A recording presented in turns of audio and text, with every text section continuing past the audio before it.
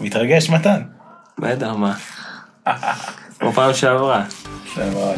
אז שלום וברוכים הבאים לפודקאסט הטכנולוגי, פרק 4, אנחנו יוצאים לדרך. אז מתן, נינה אופוריאן, איתי מתן בכר, מה שלומך. מתן?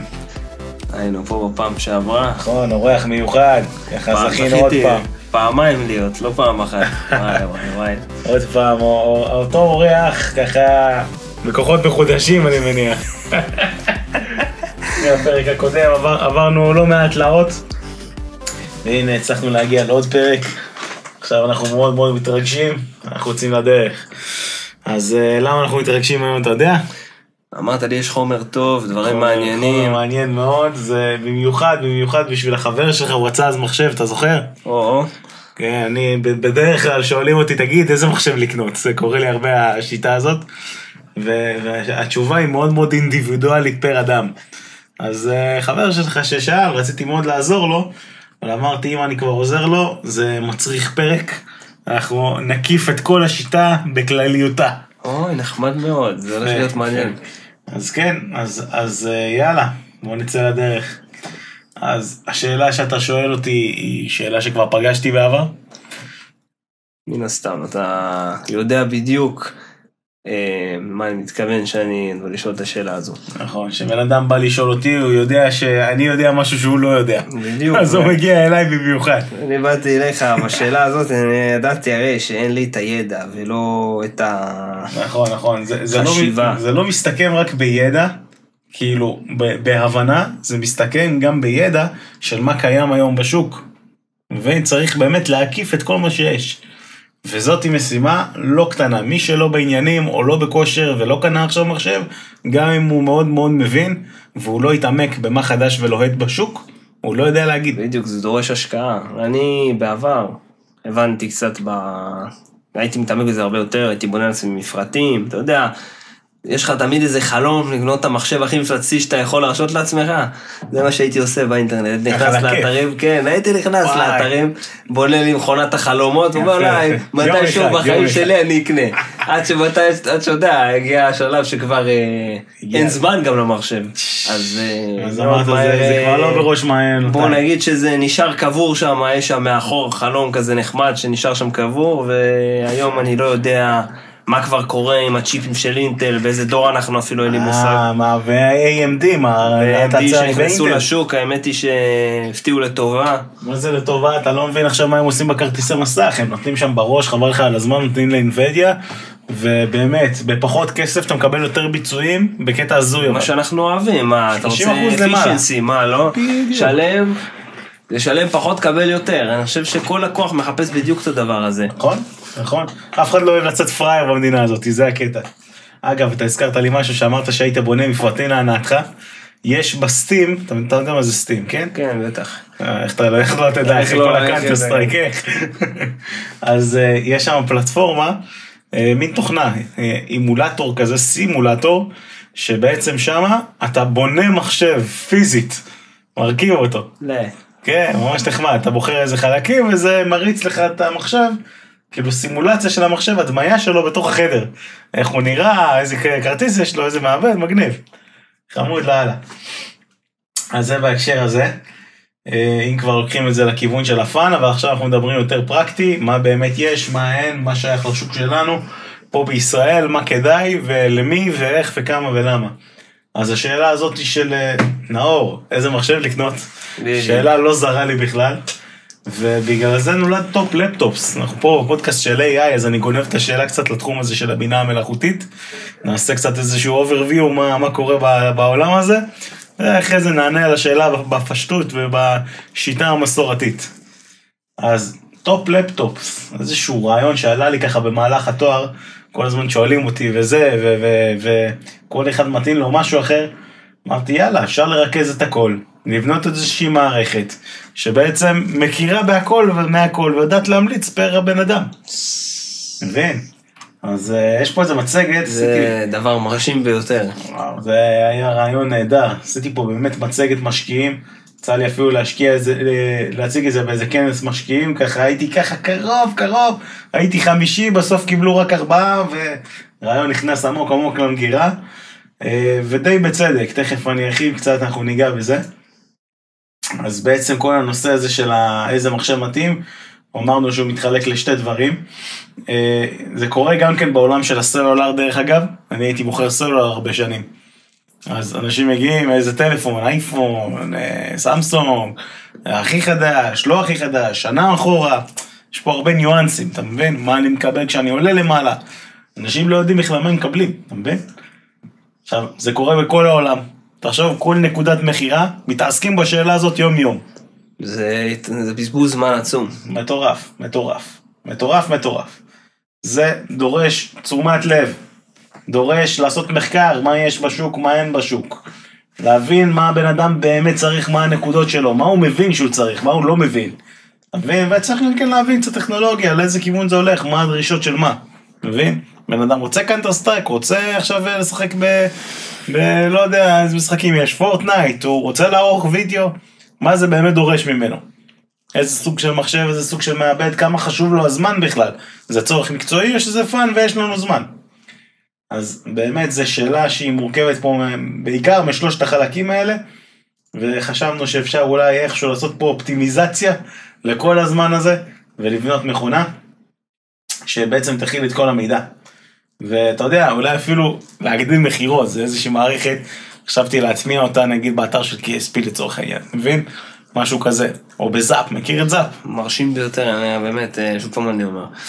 זה, ללא ספק זה משהו שיכול לענות על שאלות רבות שיש היום אה, לאנשים שעובדים שם, בדרך כלל, אתה יודע, רוב האנשים שהם לא מתייעצים בפורומים וכל המקומות האלה שבונים בהם מפרטים, אתה יודע, אנשים הם שמתנדבים. לא יודעים מה הם צריכים, אז הם מגיעים, יש להם הם את באים, ה-20 דקות על הדלפק לתפוס את המוכר ולהתחיל לשאול אותו יותר מדי שאלות. עכשיו, עכשיו, זה לא באמת אה, דרך. מחשב זה... זה דורש זמן. מוצר שמשרת אותך חמש שנים עכשיו. זה דורש זמן. זה כמו לקנות אוטו, פחות או יותר. מה, כמו שאתה אמרת, כל המשתנים האלה שציינת עכשיו שצריך לחשוב ולשקול את כל הפרמטרים אחד אחרי השני. להבין בכלל אה, מה הצרכים והכל, וזה דבר שאי אפשר לעשות אותו ב-20 דקות. בטח שלא, אתה יודע, שמחכים בתור עוד אנשים. אתה מבין, ככה עם הלחץ, טוב, תביא לי את זה. בסוף אתה קונה איזה מחשב, או שקנית overkill, הרבה מעבר לצרכים שלך, שזה בדרך כלל מה שהמוכרים עושים, לא לוקחים איתך יש צ'אנסים. את השאלה הנפוצה הזאת, אתה יודע, שאומרים, אתה קונה מחשב overkill לשנים הבאות. נכון. זה מהלך נכון או לא? בהחלט, בהחלט. השאלה באמת, מה אתה צריך? עכשיו הם לא לוקחים איתך צ'אנסים, הם ייתנו לך יותר יקר ממה שאתה צריך, אתה תשלם יותר, כדי שלא תחזור תגיד, אפ, לא עובד לי. הם לא ייקחו את הריזיקה. אה. ואז מה קורה? המחשב לא תואם את הצרכים שלך באמת. כי את זה אי אפשר לעשות ברבע שעה. לקנות מחשב שתואם את הצרכים הנוכחיים, האם זה דבר חכם, או שזה דבר לא, לא, לא, יודע, אתה- תמיד אתה צריך להסתכל אה, קדימה, להבין מה המישור שלך. מבין? עכשיו, אם כבר מדברים על מישור, יכול להיות שיום אחד אתה תעשה קצת מעבר. אתה פתאום עוד, עוד, אה, לא רק משחקים קלים, פתאום הילד רוצה גיימינג יותר כבד, מבין? מבין? זה, זה העניין. אז זה מעבר להסתכלות של על אותו מישור למשך חמש-שש שנים, אתה רוצה גם כן לפעמים קצת לקפוץ, כי ברגע שיש לך מחשב אתה עלול להתפרע, בוא נגיד ככה. אז אה, באמת אה, איזושהי מערכת שהיא תבין את הצורך נכון, היא תלמד קצת באיזושהי צורה ויזואלית מה ה user באמת אה, רוצה מעצמו, כי היוזרים לא יודעים, הם לא יודעים מה הם צריכים, הלקוח אף פעם לא יודע מה הוא צריך. זה הקטע, זאת השאלה בעצם.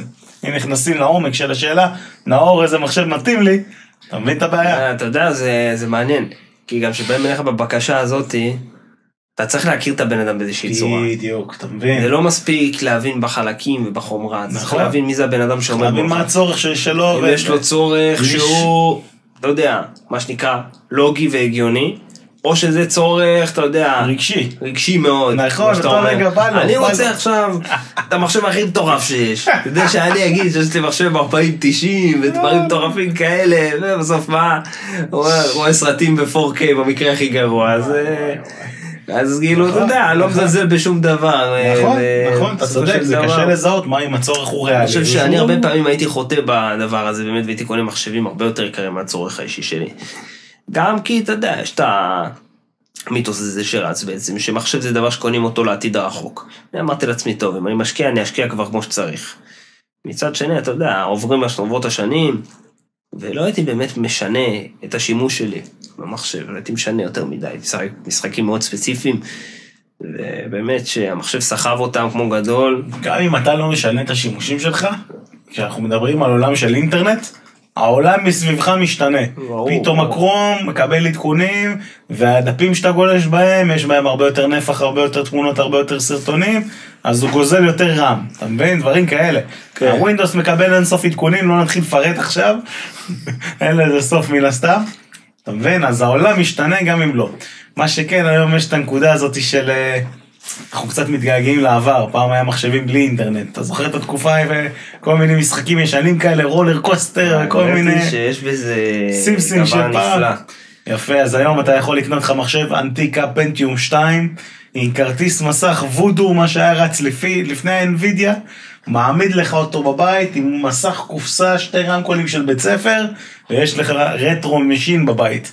אתה יושב עם כל המשחקים מותקן לך. ראיתי אנשים שבנו ממש מחשב מפלצת בתוך המארזים של מארזים, נכון, נכון. הרטרו. עזוב אותך מפלצת, אתה רוצה לקבל את הכאפת נוסטלגיה של 60 שנה אחורה, בעוד 10 שנים ובעוד 20 שנה, המכונות האלה הם יהיו זהב.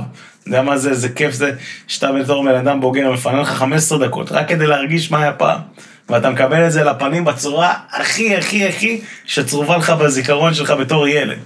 איך אפשר לעשות דבר כזה, וזה אימולטור של מכונת זמן לאחור. מטורף. נו, מדהים. יפה.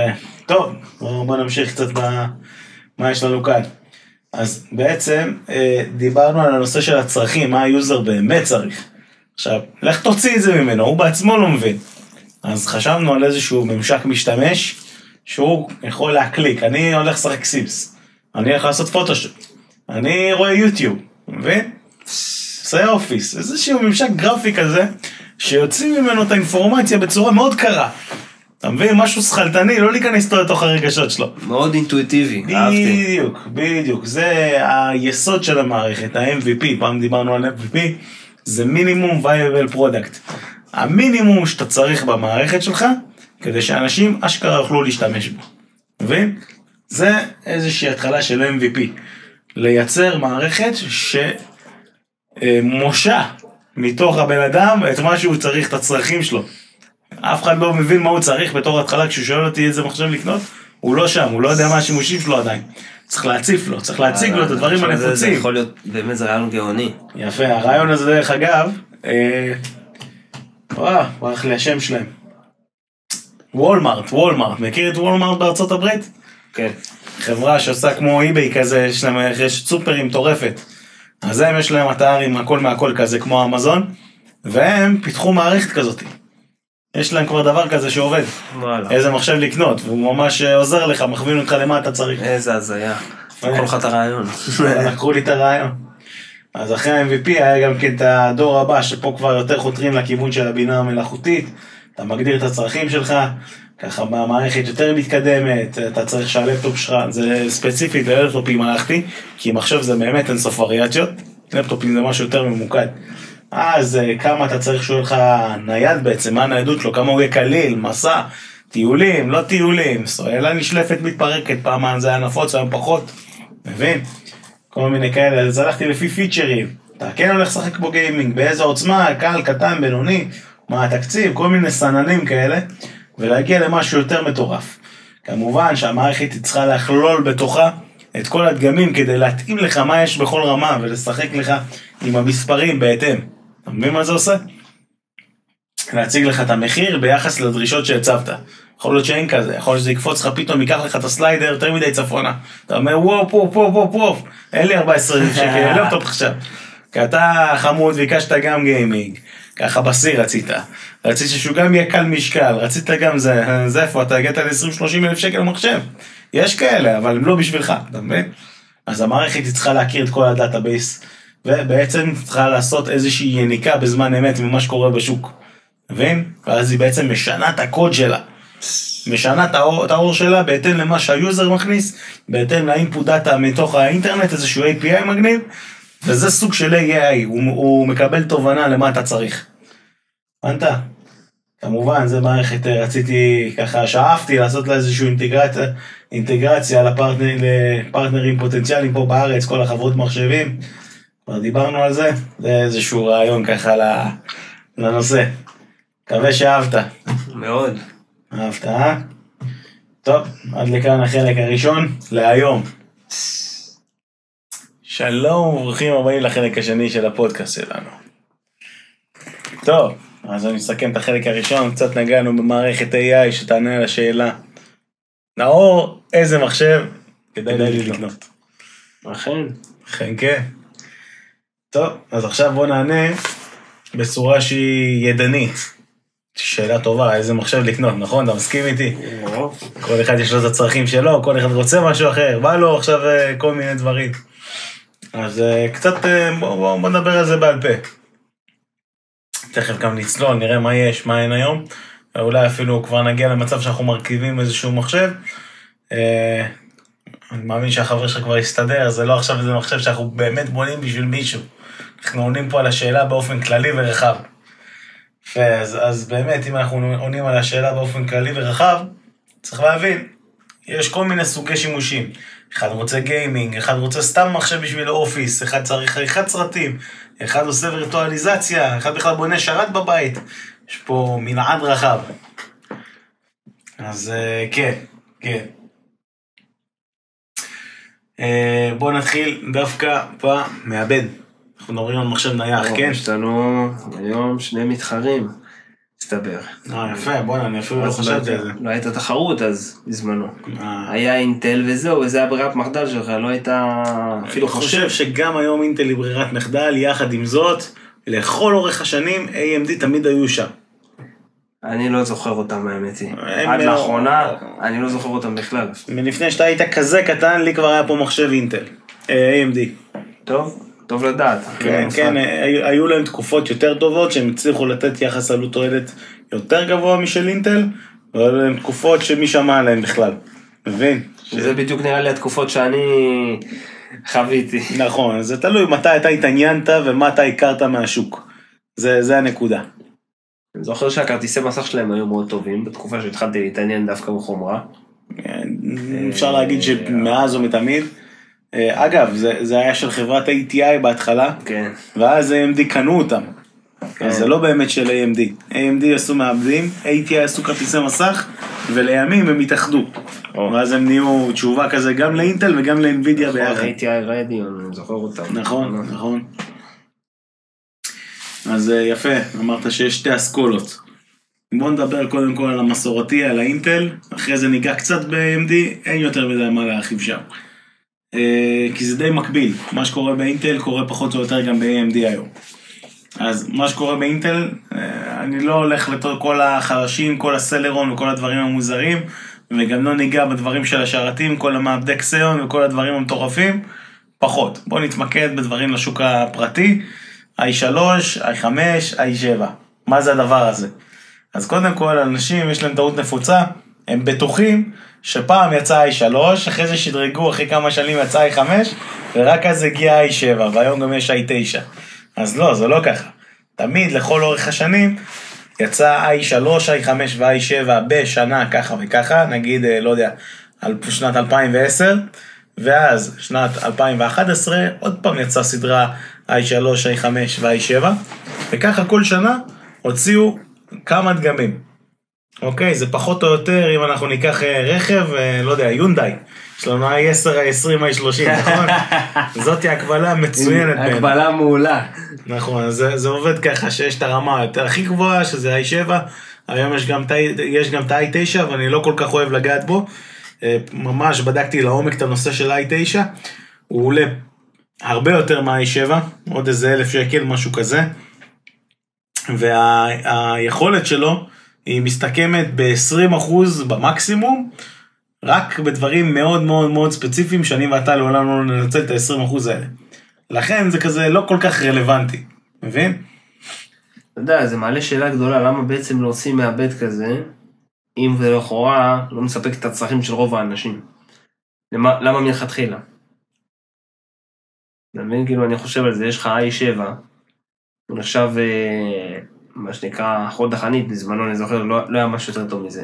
גם היום, i9 הוא כאילו יותר i9, טוב, אבל לא, זהו. לא הכיוון, אני i7 ציפיתי. אתה יודע, שנותנים שם מפוצץ i9, אני ציפיתי לשיפור משמעותי, כמו שאתה אומר. תראה, להגיע- 40-45 אחוז. להגיע ל-20% האחרונים, כשהכי טוב בעולם זה i7, אז לפתוח unlock עוד 20%, גם אם זה בפיצ'ר מאוד מאוד ספציפי, תחשוב שזה זמן עבודה בכסף של מישהו שיושב במשרד שלו, סבבה? הוא חוסך 20% מהזמן, זה עוד זמן עם האישה והילדים. אה. בשבילו זה שווה, ה-20% האלה, הוא ישלם על זה גם פי 4 אם צריך. כי תמיד ה-20% האחרונים הם הכי הרבה עבודה, הכי הרבה השקעה. הם ב-200% יותר בהשקעה, מבין? אז, אז זה הסיבה. עכשיו, אתה אומר למה אין משהו לכולם? אני חושב שה-i5 זה לכולם. לעניות דעתי, כן? i5 זה לכולם, מי שיכול להרשות לעצמו i7, כמובן. I3 היום, פעם זה היה, וואו, זה היה טוב, היום i3 הוא פחות, פחות מוצלח. יש לו פחות ליבות, זה פחות מה שהעולם דורש, פחות מתאים ורסטילי לכל האפליקציות. באמת i5 זה לכולם שאתה מדבר עליו. גיימרים הולכים היום על i5. למה הם הולכים על i5 ולא על i7? למרות שה-i7 נותן להם עוד כמה FPS? מעניין, זה גם אני לא יודע, האמת היא. אני אסביר לך למה. אולי i7 מצליח להוציא עוד 10, 20, 30 FPS יותר במשחקים. אז למה גיימרים הולכים דווקא על i5, שזה כביכול מוריד להם 20 FPS? הם עושים את זה בגלל ההפרש במחיר. ההפרש במחיר בין i5 ל-i7 היום, נכון לדור 13-14, הוא אזור 500 שקלים. אוקיי, כמובן, תלוי בדגם, עם K, בלי K וכן הלאה, אבל זה הסדר גודל. עכשיו, אתה ב-500 שקלים האלה, שהורדת לעצמך 20 FPS, אתה לוקח אותם בתור גיימר ומשקיע אותם בכרטיס מסך. ברגע שהשקעת 500 שקלים בכרטיס מסך, או 600 או 700, כמה שיוצא מזה, זה תלוי איפה אתה קונה, כמה ולמה. אתה משדרג לעצמך לא 30 FPS, אתה משדרג לעצמך 100 FPS. הבנת? זה הסיבה שגיימרים עושים את השנמוך במעבד, על מנת לשדרג את הכרטיס. כי לכרטיס הוא נותן להם, איך קוראים למילה הזאת? הוא נותן להם אה, ערך גבוה יותר. value יותר גדול לכסף שלהם. הבנת? יפה.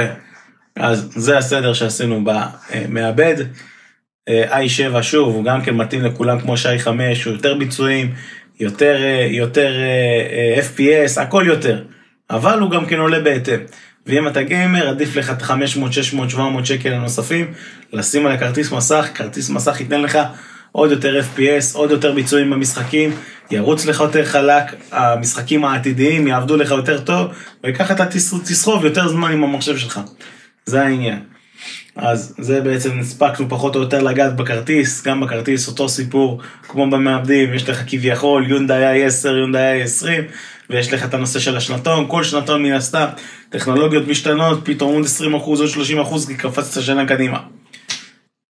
נעשה את ההקבלה רגע אחד ל-AMD. כי פה יש ל-AMD טריק, מה הם עושים? אינטל כל שנתיים, באופן קבוע, מחליפים socket.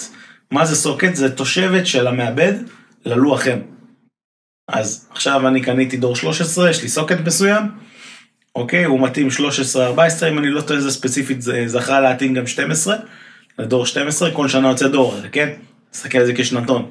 דור 14 זה כביכול 2024, אוקיי? אז, אה, אז מתאים גם למעבדים 2023 וגם למעבדים 2022. מעבדים שיצאו בשנת 2025 לא יוכלו להשתלב אצלי לתוך הלוח M. מבין? זה יאלץ אותי להחליף לוח M. אם הלוח M אני צריך להחליף גם זיכרונות, חלאס, כבר צריך מחשב חדש. מבין? זה מגביל אותך. וזה זה הקטע ב-AMD. מה AMD עושים? אותו סוקט כבר איזה עש- עשרה דורות. אז אתה קונה פעם אחת לוח טוב, כן? ואז לך שאתה קונה מחשב עם אפיק שדרוג קדימה. שאתה אחד שמחליף וצריך ורוצה שהמחשב שלך יישאר רלוונטי גם אחר כך לעוד שלוש שנים למשחקים חדשים יותר, או לתוכנות חדשות יותר, שוב, זה תלוי בשימושים של אדם. אני חושב שזה חוסך הרבה מאמץ לצרכן. כמו מעבד של AMD, עכשיו בדיעבד שאני חושב על זה, שאני אישית היה לי מחשב עם מעבד של AMD ולא הרגשתי בהבדל יותר מדי בין ה-i7 שהיה לי בזמנו לבין ה-Ryzen 7. i7 ל Ryzen, קודם כל Ryzen 7 זה חיה רעה, ו-i7 זה גם חיה רעה. אתה בשני המקרים לא מנצל 20% מהמעבד שלך, אתה אפילו לא יודע את זה. אתה יודע איפה זה בא לידי ביטוי? במהירות שבה אתה עושה compress ל WinRAR. צריך לעשות פעם זיפ, ווינרר. כן. יפה. מה זה ווינרר? אתה בעצם לוקח את הקובץ, קובץ של כמה ג'יגה בייטים טובים, ואתה דוחס אותו. ואיך מבצעים את הדחיסה הזאתי? זה נקרא אלגוריתם, אלגוריתם אופמן. על פי עצי חלוקה, הוא מנסה לסדר כפילויות בקובץ, מה נכנס לו לפי הענפים בתוך העץ, עד הוא שככה... עושה איחוד בקבצים. הוא עושה איחוד בכפילויות שיש בתוך קובץ אחד. אוקיי? ואז הוא דוחף, דוחס אותו בעצם נכון. לקובץ יותר קטן. עכשיו בגלל זה יש קובץ מסוים שיכול לקבל דחיסה משמעותית יותר, וקובץ שכמעט ולא חסכת כלום. סתם הוא עבד, המחשב עבד קשה, מלא זמן, הוא הופך ובודק, הכל רץ על הכל מאוד חזק מאוד מהר. זה מביא את המעבד ל-100% הדבר הזה, באמת ניצול מסיבי של המעבד, ושם זה מתבטא, שמה או ברנדר של סרטים, או בווירטואליזציה, בווירטואליזציה האמת שזה מנצל יותר רם ודברים כאלה, לאו דווקא אתה מאבד. תלוי בפרוססים ומה אתה מריץ. אבל סתם ווינרר לצורך הדוגמה זה באמת מפרק את המעבד, ושם אתה היית רואה איזשהו הבדל מסוים. אבל בשימוש השוטף, המעבד זה הבעיה הכי קטנה שלך. ואתה לא בטוח שידעת את זה. i5, i3, i7, בשביל לגלוש באינטרנט, זה לא משנה איזה מעבד יש לך. הבנת? מעניין מאוד. לצורך העניין, עלייה של המחשב. כמה מהר המחשב עולה. המעבד בכלל לא משחק שם תפקיד, לא נתת לו חישוב לעשות. הוא רק טוען קבצים מההארד דיסק ומניע אותם על המחשב. אוקיי, אז כן, המעבד עובד מן הסתם, אבל הוא לא עובד קשה, אתה לא מביא אותו לטירוף שלו. אוקיי, זה יותר, הצווארי, צווארי, צווארי בקבוק היו פעם באזור של ההארד דיסק. עד שההארד דיסק מניע פעם זה היה, אתה יודע, עם מחט, מסתובב לאט וזה, כמו איזה פטיפון. עד שהוא היה שולף את המידע, עד שהוא היה זה, 2, 3, 4, 5 דקות גם להדליק מחשב. היום עם ה-SSD שזה הכל מגנטי והכל זה, אה, אה, הכל זה כמו נוירונים כזה, זה עף לך מפה לשם. אתה מבין? במהירות החשמל. טס, כן. אתה מבין? זה הכל אלקטרודות, זה בום, זה פשוט עף, זה הרבה יותר מהר, הוא דורך את הקבצים משם ומעלה אותם הלאה. אז הצוואר בקבוק באמת איפשהו קצת נוגע במעבד, לא כמו שהיה פעם שהכל היה תקוע בהארד דיסק. הרעיון במחשב טוב זה שאין צווארי בקבוק, כל הרכיבים הם פחות או יותר באותו רמה. שוב, בהתאם לצורך, כן? אז uh, בעניין העלייה למחשב, SSD, ספציפית היום הולך NVMe, זה הסוג חיבור שמאפשר טעינה מהירה וקריאה וכתיבה מהירה בעצם לתוך הכונן הקשיח שלך. אז עשינו את ההקבלה פחות או יותר ל-AMD, זה היתרון הכי חזק שלהם, שהם באמת לא מחליפים socket. אתה יכול להישאר עם לוח אם פצצה מפעם ולשדרג אותו, ואנשים עושים את זה, לוקחים מחשב מלפני חמש שנים, מחליפים לו מעבד, ובום, קיבלת מחשב, הצגה. נו, זה, זה נשמע לי מאוד מפתה. אנשים עושים את זה, והלוחות שלהם גם יותר זולים, ובאמת עסקה טובה לעשות עם מחשב AMD היום.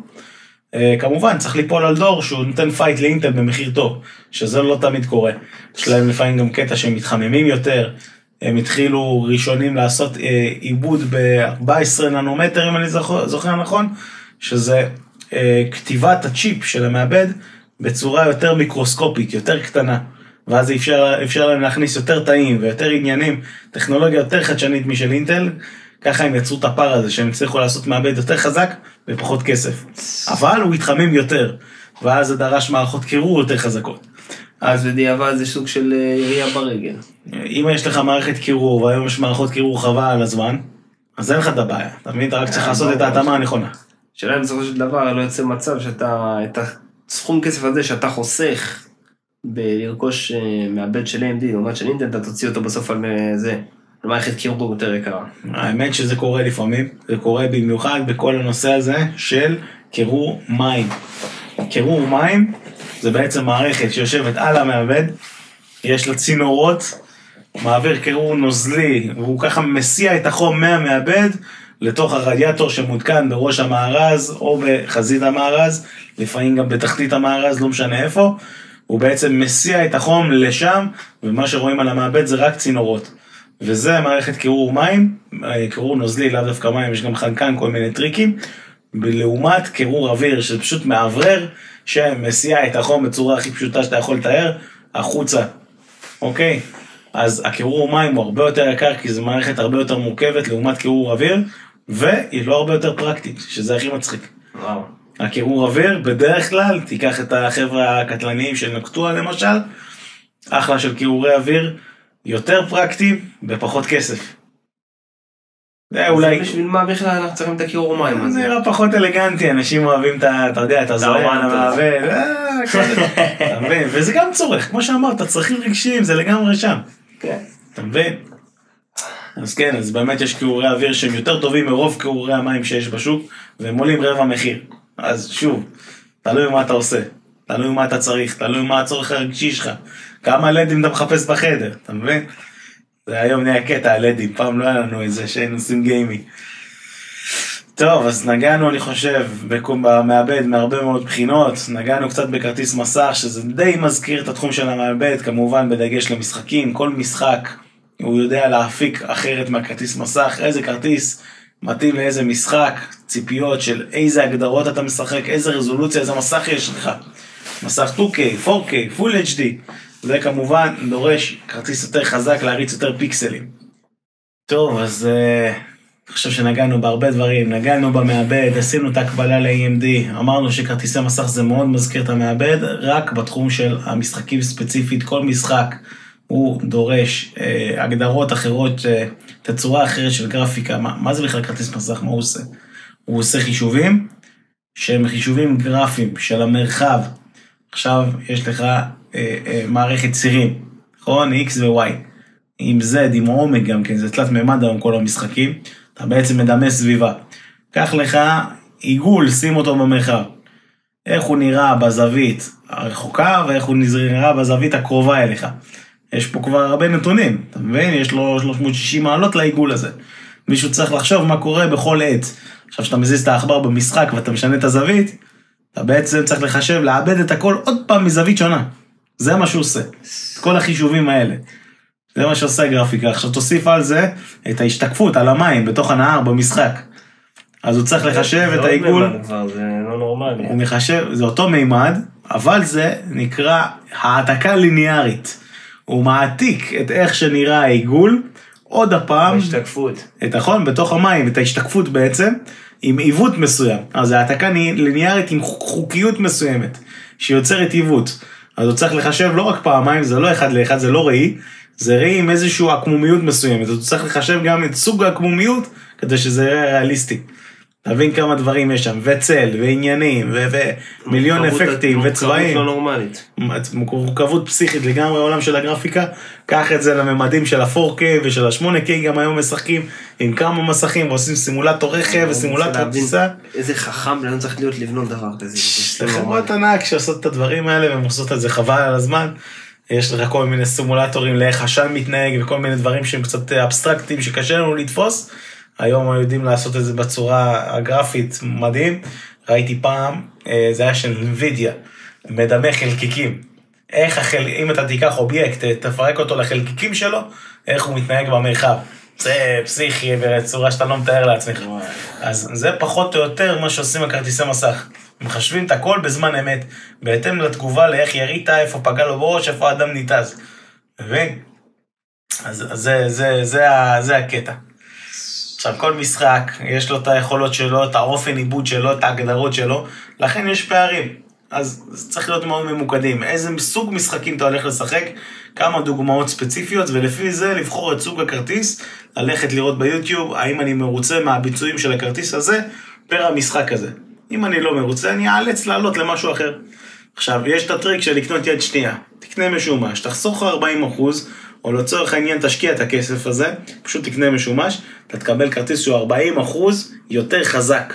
תקבל יותר FPS, יותר תמונות בשנייה, ירוץ לך יותר חלק, תוכל לקבל הגדרות גבוהות יותר, אה, מודולים טובים יותר, השתקפויות, טקסטורות, הכל ייראה יותר יפה, יותר אמיתי. אה, אם הגעת למקסימום של המשחק, אז ישרת אותך בעתיד, במשחק הבא. שוב צריך להתאים את זה למס... לכמה כסף יש לך בארנק ומה אתה הולך לשחק. זה אני חושב ממצה היטב את כל הנושא של המשחקים, גם פה יש הקבלה בין NVIDIA ל-AMD בכרטיסי מסך, נותנים fight יפה, ספציפית עכשיו בתקופה טובה, אה, הצליחו לתת עוד איזה 30 אחוז ערך באותו מחיר בהשוואה ל-NVIDIA בכרטיסים החדשים, שזה מעולה, מעולה. יחד עם זאת, בהרגשה שלי ומהניסיון שלי, הכרטיסים של NVIDIA לאורך שנים מחזיקים יותר זמן, דרייברים שלהם לא דופקים אותם, ומשחקים חדשים מקבלים את התמיכה ל-NVIDIA. אז אולי תגיד שאני פאנבוי, יש מושג כזה שאני כאילו נדבק לאיזה מותג ולא משחרר ממנו, אבל מהניסיון שלי ככה גיליתי שזה, הם יודעים לעשות את העבודה לאורך שנים יותר טוב. אז זה בדבר הנושא הזה. ספק כוח, ספק, צריך לתת משהו שייתן יציבות. מעבר לזה שיש לך דרישה, שמת כרטיס מסך, שמת מעבד, שמת פה, שמת שם, דרשת ואט מסוים, וולטאז' מסוים. אתה צריך לתת לזה תמיכה עם ספק מתאים. מבין? אה, מעבר לזה יש את העניין של היציבות, יש תקן, 80 ברונז, 80 גולד, קח לך תקן טוב, זה היום עוד 50 שקל וזהו, לא לתפוס איזה ספקים בלי חברה, לקחת חברה מומלצת, ותפנה קצת יותר ב-W, בוואט של הספק שלך, שאם תרצה להחליף כרטיס לא תהיה לך בעיה, מבין? הכרטיס הוא הזללן העיקרי בתחום הזה. אה, קייס, הדבר הכי חשוב בקייס זה האווירודינמיות שלו. אווירודינמיקה בפנים, טרמודינמיקה זה נקרא, סליחה. אווירודינמיקה זה כשמשהו עף ומתנגד לרוח, טרמודינמיקה זה איך האוויר זורם בתוכו, שזה מה שקורה עם הקירור. רכיבים מתחממים בטירוף, מגיעים לך לאזור ה-90-100 מעלות אפילו. הקירורים שיש, כל המערכות קירור מסייעות להסיע את החום החוצה, וככה נעצרים על אזור ה-70 מעלות, 80, וזה טמפרטורות סבירות, סבירות לפעילות של מחשב מה שקורה בפנים. כל המארזים היפים עם הזכוכית, הזכוכית בטמפרטורת חדר 30 מעלות פחות או יותר 20 מעלות, בום, בבום אחד מגיע ל-80-90 מעלות, אתה יודע מה קורה? פוצץ. מתפוצץ, זה מה שקורה לאנשים. הרבה הרבה רסיסים אפשר לראות באינטרנט, חבר'ה, איה התפוצץ לי, איפה קונים זכוכית. חשוב מאוד לא לגעת בזכוכית כשהמחשב עובד, זה מוצר מאוד רגיש. לדאוג למארז שיש לו טרמודינמיקה טובה, מארז עם זרימת אוויר טובה, מומלץ אלה בלי הזכוכית בכלל, אה, לפחות אלה בלי הזכוכית בפרונט כדי שייכנס אוויר מקדימה גם כן, עוד זווית, ולהסיע את החום החוצה, לחשוב איך עושים את זה, לחשוב איפה שמים את הקירורים בתוך המארז, כדי שהפלואו יהיה נכון. יש כל מיני טכניקות לעשות, להתייעץ, זה שומר על המחשב, זה שומר על הזכוכית, זה שומר על הרכיבים, וזה מוציא ביצועים יותר טובים. וזה בלי overclocking. overclocking זה לקחת את הדברים לעוד יותר קצה. לגרום לרכיבים להתחמם יותר כדי להפיק מהם יותר ביצועים. לא מומלץ. פשוט לא מומלץ. ההפרש ביצועים זניח, הפרש טמפרטורות מסוכן. אה, אגב, החום הוא שוחק את הפדים ש, אה, שמסיעים את החום לגוף קירור. בין הגוף קירור לבין המעבדים שמתחממים. יש פד מסוים שהוא מוליך חום. הם נשחקים מהחום. יש, יש משחה או פד, זה שתי אפשרויות שונות. ובגלל שזה נשחק ויש בלאי, צריכים להחליף פעם ב... משהו שבדרך כלל לא עושים, ואז הביצועים של המחשב יורדים באופן טבעי, וזה משמר אותם. זה בסדרה 3000 של NVIDIA וגם סדרת 2000 אם אני לא טועה, מכה קשה, כולם נשחק להם הפדים והביצועים צומחים למטה. וואי וואי. משימוש סביר, סתם ילד שמשחק במחשב, אחרי שנה, שנתיים, צריך להחליף פדים, לעשות טיפול. מה שקרה זה שהשתמשו בפדים לא נכונים. לא חישבו נכון, לא יודע, קורונה, חסכו, לא יודע מה, שמו עובי לא נכון של פדים במפעל, כמעט בכל הכרטיסים, כל סוגי הכרטיסים, וזה מה שקורה. אז מי שחיכה לסדרת ה-4000 זכה. אה, כנראה שכן, עדיין אין אינדיקציה, כי עדיין לא עברה שנה. אנחנו לא יודעים איך זה נראה אחרי שנה, שנה וחצי, שנתיים, אבל כנראה שהם פתרו את הבעיה. אה, עד כאן בנוגע לכרטיסים. אה, יד שנייה אמרנו, יכול לחסוך כסף. כמובן, היום מגיע בתוך המעבד כרטיס מסך מובנה מתנה. יש דגמי KF שאין להם כרטיס מסך. כי אם אתה קונה כרטיס מסך חיצוני, למה שתשקיע בכרטיס חלחם עם מסך בתוך המעבד? מבין? אז הדגמי KF הם עולים איזה 100 שקלים פחות. אני לא ממליץ עליהם. למה? כי אם הכרטיס מסך היה וקרה לו משהו, אין לך איך לתפעל את המחשב בלי כרטיס מסך, לטובת טיפול תקלות. אז אני לא ממליץ על הדגמי KF, זה טעות מבחינת טיפול תקלות, ככה אני רואה את זה בתור איש שקצת אה, מתקן דברים כאלה ומתמודד עם זה. עשה לי המון בעיות, היה לי פעם איזה מחשב, עשיתי מעבר מווינדוס 10 לווינדוס 11, הייתי צריך להפעיל משהו שנקרא Secure Boot. ה-Secure Boot הזה, הוא מונע מרכיבים לפעול עם תחילת המחשב, כדי למנוע אה, הזרקה של וירוס או דברים כאלה. אתה יודע מה הוא עשה? הוא ביטל את הדרייבר של הכרטיס מסך על דעת עצמו ואין מחשב, אין מסך.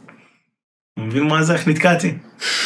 אז באינטל זה נקרא מעבדים KF, אלה שאין להם את הכרטיס, אה, וב-AMD כסטנדרט אין כרטיס מובנה בתוך המעבד, אלא אם כתוב G בסוף. G זה כאילו graphic, ואז יש. אם אני לא טועה עכשיו בסדרה החדשה, יש גם 3D, שזה החזקים עם הגרפיקה. והיום הכרטיסים המובנים יודעים לתת 70 FPS ב Counter-Strike 2, שזה יפה. אפשר לשחק איתם, לא רע בכלל. אפשר לשחק איתם, נותנים עבודה, יש על מה לדבר. כמובן, לא משחקים כבדים, לא לצפות ליותר מדי, אבל לשימוש סביר, זה עובד, ולא צריך כרטיס מסך חיצוני. לא צריך להשתגע עם כרטיס של 2,000 שקל באנווידיה. יתרון. יפה, אז קייס, דיברנו, מעבד, דיברנו, זיכרון, אמרנו, כרטיס מסך, נגענו, נשאר זיכרון רם. זיכרון רם, אין יותר מדי מה להרחיב, היום מינימום של המינימום של המינימום למחשב נורמלי בבית זה 16 ג'יגה בייט. לא צריך עכשיו להגיע גם ל-32 ולא חייב 64, לא צריך להתפרע. 16 זה מספיק, אם אתה משחק גיימינג תקבל ביצועים קצת יותר טובים מ-32, כדי לא לייצר צוואר בקבוק, משחק עם מודולים גדולים, לא יודע מה, זה רכיב שהוא יחסית זול, זה התחום. היום מגיע יפה עם כל מיני צבעונים, ה RAM, מלך נחמד. אין הרבה הבדל בין הסוגים, כן DDR5 למרות שהוא לא הכי יציב, גם DDR4 זה בסדר גמור. מבחינת ה-CL, התדר פעולה שלו והזה, זה זניח, זה שטויות, אין טעם אפילו להתעסק בזה. זה לא מצדיק את הדיון בכלל. ההפרש ביצועים ב-FPS הוא לא קיים, בדקתי את זה מכל הכיוונים. באמת שרם זו אולי הצרה הכי קטנה, פשוט לקנות רם, חברה שאוהבים אותה, שהנראות נראית טוב בגלל שה-RGB שם כן משחק תפקיד, וזהו. לוח אם, הדבר האחרון ואולי העיקרי שעליו הכל יושב. בתכלס הוא הרכיב הכי שקט. הוא רק הכל מתחבר אליו, ולכאורה הוא לא עושה כלום. הוא רק מקשר בין הדברים. זה הרבה. נכון, זה הרבה. אבל אין לו איזה עניין של ביצועים או משהו כזה. כל לוח אם עושה את העבודה, הוא מקשר, אתה מבין? איפה הלוח אם? זה. אותי אחורה לפרק הקודם. מה מה היה? מה היה? הדב-אופס. מה היה בזה?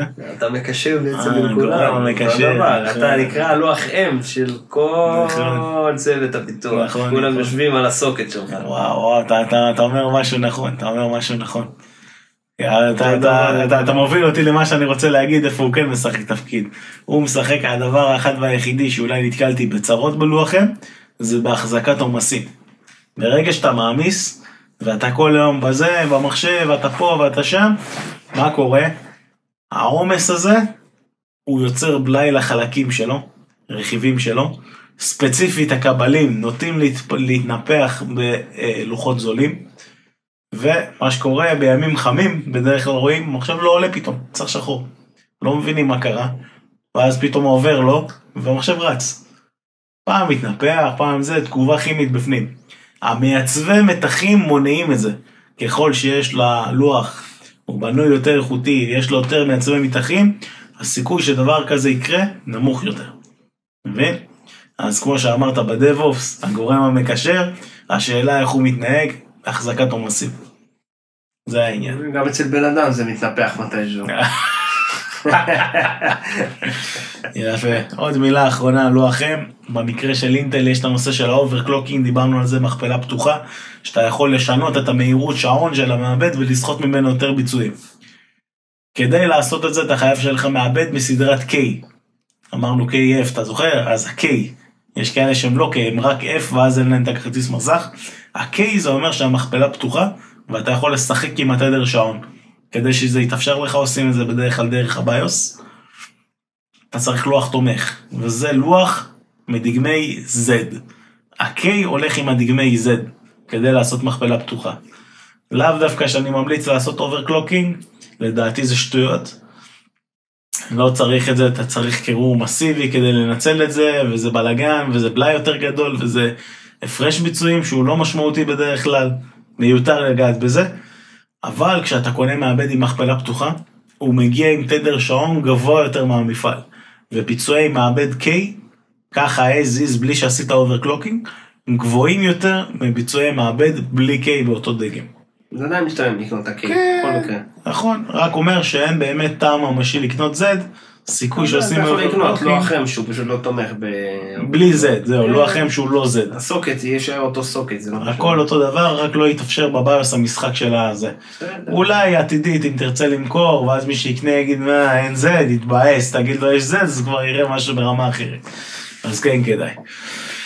זהו, אילת מומלץ בחום, בדרך כלל נוקאוט לכל מה שאתה יכול להשיג בעולם אם אתה נמצא בישראל.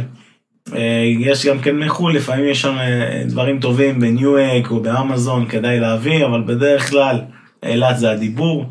אה, חנויות רגילות פה בארץ, KSP ואייבורי יודעים לתת מחירים תחרותיים. זאתי ההמלצה בגדול. כל מה שאמרנו מתייחס למחשב נייח, אבל די תקף בגדול גם למחשבים ניידים. אין איזה הפתעות יותר מדי. זהו, זה, זה נראה לי שככה בוחרים מחשב מא' ועד ת'. מה, מה, מה אתה אומר? איך אתה מסכם את האירוע? סך הכל אני חושב שנתנו פה, יותר נכון אתה נתת, אני הקשבתי. אה, אשריך. דעה מקיפה לגבי איך לבחור בחוכמה מחשב, גם מבחינת הסתכלות, גם מבחינת שיקול- שיקולים כלכליים, הלוגיקה של האדם שבוחר את המחשב, מה עומד מאחורי הבחירה, לא רק אה, ההיגיון הבריא, אלא גם הריגוש, הרצון הזה להרגיש, אתה יודע, מה זה לשחק עם מפלצת. אה, האמת היא שגם אה, כשחושבים על זה עכשיו, אתה מגיע בסופו של דבר לגבהים גם, גם ברכיבים שהיום מוציאים, זה לא כמו אז שהיית קונה כרטיס X וכרטיס Y וההבדלים היו ממש משמעותיים. היום יש לך כל כך הרבה מדרגים כבר, שההבדלים ביניהם בממוצע זה בין 30 ל-20 ל-30 אחוז, שבוא נגיד העין האנושית כבר באיזשהו שלב מאבדת את זה, היא לא יכולה לחוש בהבדל. נכון. זה נכון. באמת אה, נוגע לאנשים שיותר מתעסקים בזה פרנסתם או אה, דברים מקצועיים. אה, או לכיף, לכיף, או בן אדם לכיף, שמשחק, פתאום תשדרג לו את העוד FPS ב Counter-Strike, הוא כן. יתלהב. תחליף לו את המסך ממסך... אה, יש פה הרבה בעצם, אה, איך נגדיר את זה? עניין של חוויה. החוויה באמת משחקת פה משחק מאוד גדול. בטח, זה הכל עניין של חוויה בסוף. זה, זה מה שזה. כן, טוב, תראה, יש מחשבים ישנים שהם כבר לא שמישים, זה כבר עניין אחר. כן, ברור. מדברים פה על עניין של חוויה. השפע שיש לך היום בעולם הטכנולוגיה בכלל באופן כללי, וההיצע העצום של הכרטיסים. כן, כן. אגב, עוד מילה לאיך אתה בורר את החוויה, מה ייתן לי חוויה יותר טובה, אז יש לך אתרים שעושים השוואה בין כרטיס זה או אחר. נכון, זה נקרא user benchmark אגב, אחלה של דבר, אחרי שיש לך את המחשב שלך אתה יכול גם כן להוריד, והוא בורר, הוא בוחן לך את המחשב והוא משווה מול אחרים. כמה אחוז אתה נפלת עם המחשב שלך ביחס לכרטיס דומה במחשב אחר, איפה אתה מדורג. אתה מבין? ובעצם כמה FPS כזה כרטיס ייתן ביחס לכרטיס אחר. אפשר להשוות, גם השוואות ביוטיוב זה בסדר גמור. ה benchmarking הוא מאוד מאוד חשוב בתחום הזה, כדי להבין מה אנחנו קונים וכמה זה מתאים ומה זה ייתן יותר, וככה עושים בעצם את החישוב של ה-value per money, מה אני הולך לקבל. וזהו, הכי חשוב זה בעצם לקנות משהו שהוא עדכני, ואם אתה קונה משהו שהוא לא עדכני אז להבין מה הוא חסך לי, כי עכשיו אם אני קונה שנתון נמוך יותר, אוקיי? אז זה אומר שהוא ייגמר לי, נגיד קניתי במקום סדרה הכי חדשה 14, במעבד קניתי משהו שיצא לפני שנתיים, אוקיי? אז אם הוא יצא לפני שנתיים, זאת אומרת שאורך החיים שלו יהיה קצר יותר בשנתיים, בסוף, עד שהוא ייגמר, עד שנגיע לקו הסיום. צריך להבין את זה. אם אני קונה שנתיים אחורה, אז המשמעות זה שקניתי מחשב שיחזיק לי שנתיים פחות. כמה יעלה לי להשתדרג להכי חדש. אם יעלה לי 500 שקל, 500 שקל בשביל להרוויח עוד שנתיים. זה כדאי, זה לא הרבה כסף. צריך להבין מה אני קונה. נראה לי שמיצינו פה ככה מכל הכיוונים, נגענו למעלה, סיפרנו קצת על AI, איך עושים את זה בצורה מלאכותית. אחלה של פרק. אל תראה בפרק הבא. יאללה ביי. אתה רואה, בסוף הצלחנו.